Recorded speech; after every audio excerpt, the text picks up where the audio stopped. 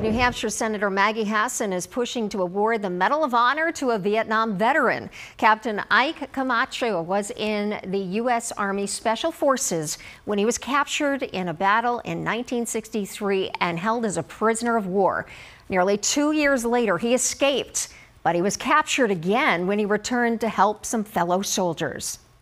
He really deserves the Medal of Honor, and it's really important that we recognize the heroism of our uh, men and women in uniform.